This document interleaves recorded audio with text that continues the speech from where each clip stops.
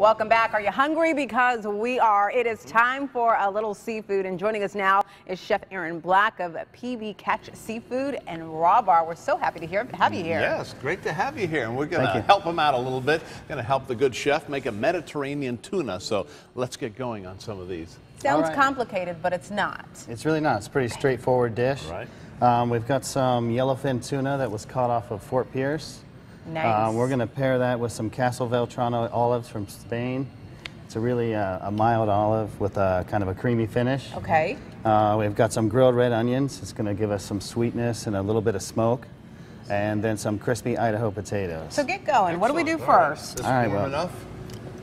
I think we'll be all right. We're going to put a little butter in there. All right. I think uh, you have three little slabs right there. Yeah.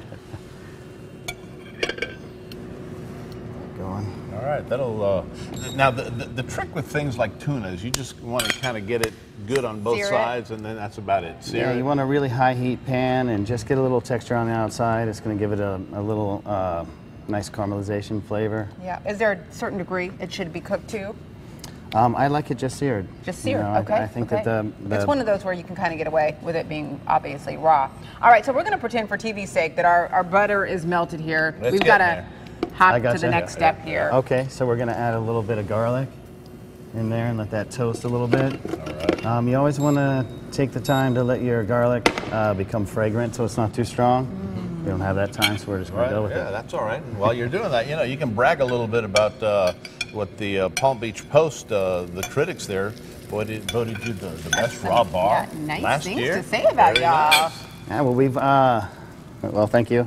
And we've got some really great oysters coming in for the boat show this week. We've got Kumamoto's, Kusshis, Ballones. Oh, so you guys are ready. Y'all will probably be serving a huge crowd. We are ready. We are definitely ready. All right. Good. And So- this is going to be on the menu, no doubt. Absolutely. Oh, This I is smell the garlic. one of our That's most popular stuff. dishes for sure.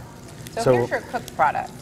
yeah, we've seared this ahead of time so we didn't get too smoky in here. Mm-hmm. We're just gonna slice this up. Sharp knife goes right through. Excellent. Yeah. And Love that. again, Sure. seared on the outside and uh, nice pink color on the inside. Absolutely. Beautiful. So, So pretty. we're gonna lay this out here.